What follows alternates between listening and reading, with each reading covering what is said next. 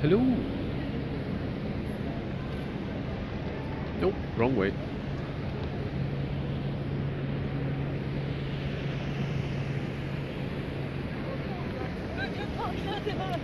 Now I know the Pope's in because he, he was meeting the guy that runs Turkey.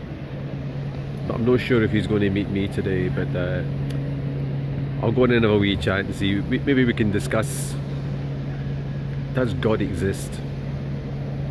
Has he got proof? So I've come to the epicenter of the Christian world and I want to ask the question Does God live here?